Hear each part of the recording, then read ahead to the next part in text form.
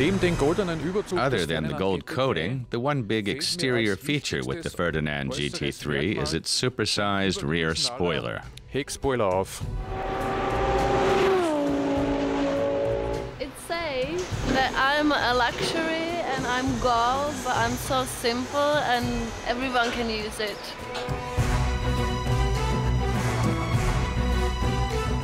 He looks like a Ferrari. If he's not a Ferrari, he's a very good cop.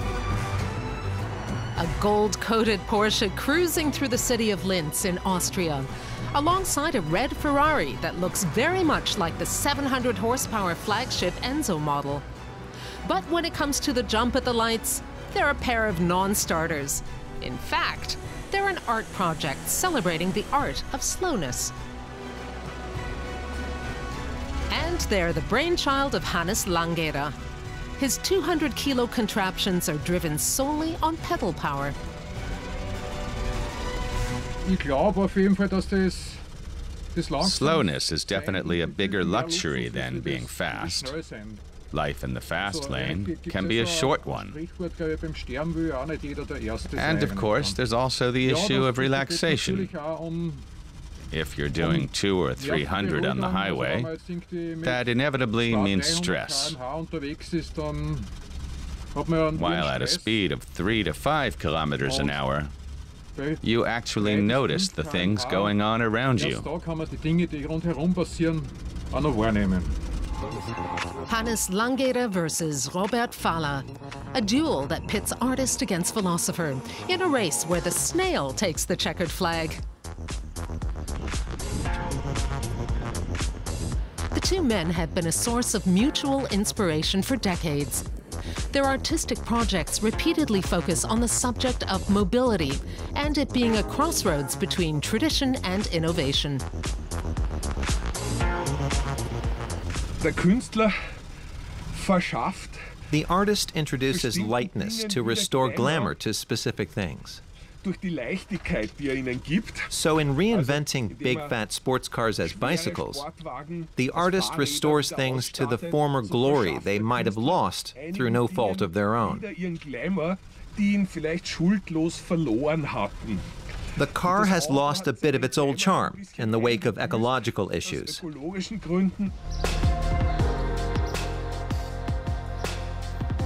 Hannes Langeder has named his creation Fahrradi, a marriage of Ferrari and the German word for bicycle, Fahrrad. Needless to say, it's carbon neutral and guaranteed zero emissions. Da haben wir jetzt den Treibstoff This is our fuel for the next 200 kilometers. The human driver is the only engine with a lifetime guarantee. And wherever they show up, the mock cars are guaranteed to turn heads and provoke debate.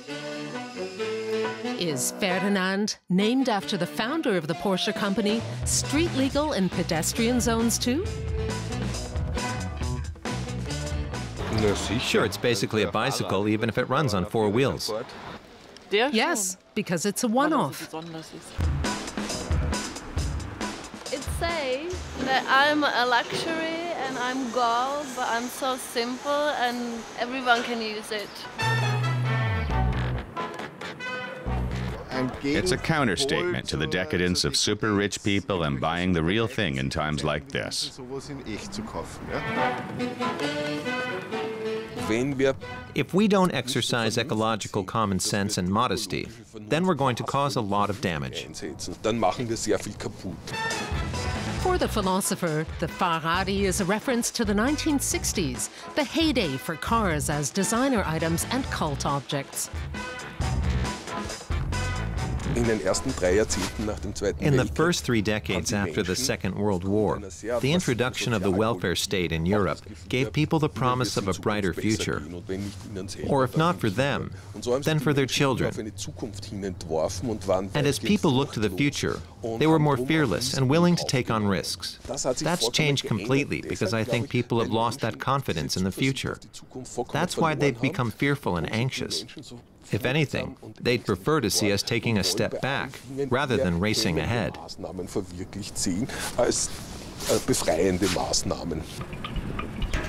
Fearless and helmetless at the handlebars of cars that would normally be considered status symbols and the epitome of a luxurious lifestyle.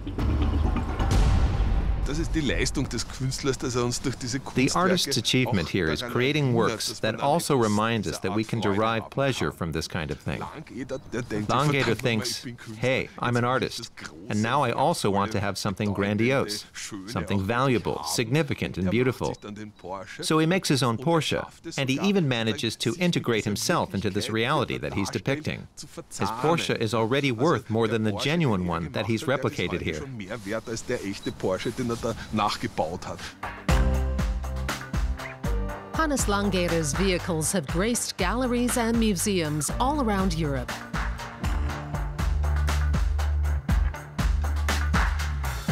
And to turn his works into true performance art, he sometimes dresses up as Burt Reynolds' character from the movie The Cannonball Run.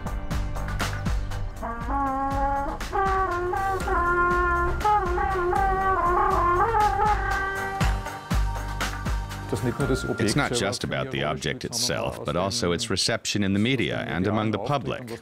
Another important element is the associations.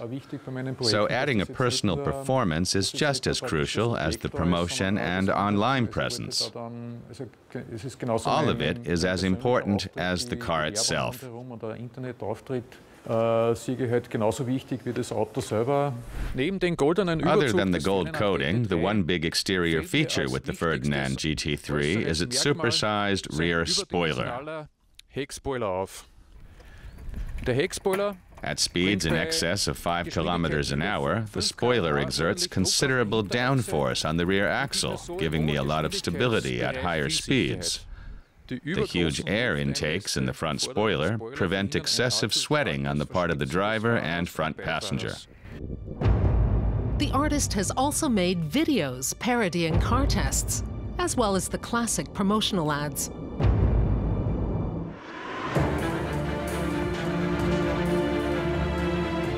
In the process, earning millions of views on YouTube. His works have become so popular that in 2013, his Ferrari was invited to share the stage with real luxury cars at the high profile International Motor Show in Frankfurt.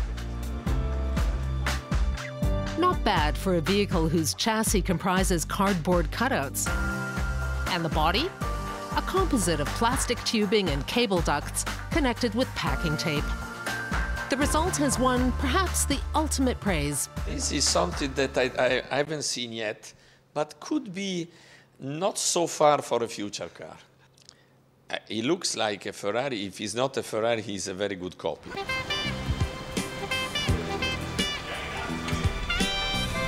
With Ferrari, it's about a philosophy not just going fast. Ferraris are works of art. Is driving a Ferrari an unbridled joy?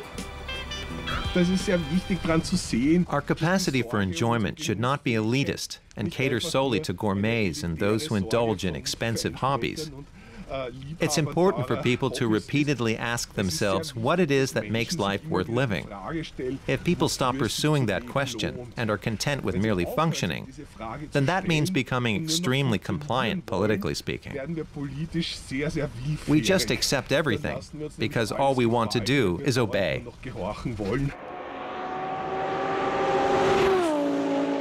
What's wrong with a bit of poor man's Porsche? A philosophy that is a common theme in the work of Hannes Langeder.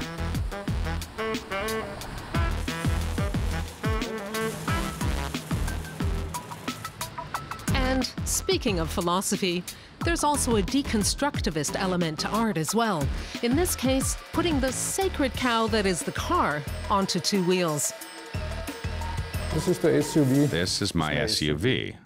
jetzt als den SUV You could call it the SUV of bicycles. It's inflatable and gets fatter over time, so you take up more space on the road. That's important.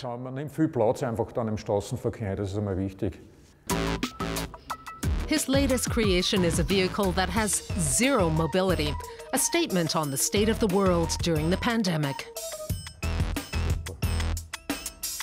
Hannes Langeder himself is certainly getting out and about. And after his gold Porsche caused a commotion on the cult British TV show Top Gear, he's even looking at a small scale market launch. Since getting into this, I've even had people from the art scene mistakenly thinking I'm some car freak. You wonder who you are now. I guess I'm no longer an artist, and I'm now more of a car designer.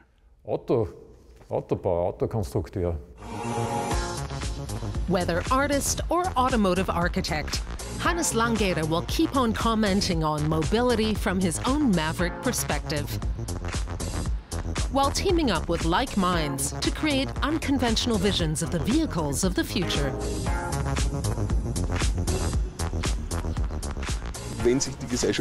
Perhaps society will change, äh, and people will be able to rediscover their lust for life and the prospect of a more äh, positive future. And then I'm sure they'll also rediscover their love of cars. And should all regular cars run out of energy at some point, Hannes Langeder's creations will still keep on running.